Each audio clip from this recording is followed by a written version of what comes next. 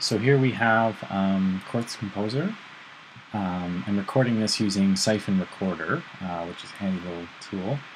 Um, so I've got a sphere with the Earth mapped to um, uh, to it, right in Quartz Composer. It's a built-in feature as the sphere. Um, I've also got a lighting environment that I've set up um, within it.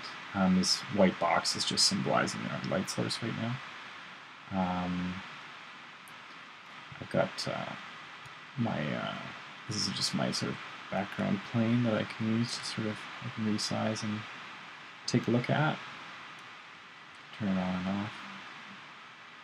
I've set up a MIDI controller to do uh, all these functions to play around with. And then I've also got a trackball that I can reposition the scene with. What might be interesting is connecting up uh, the connect data with some of this, some of these parameters.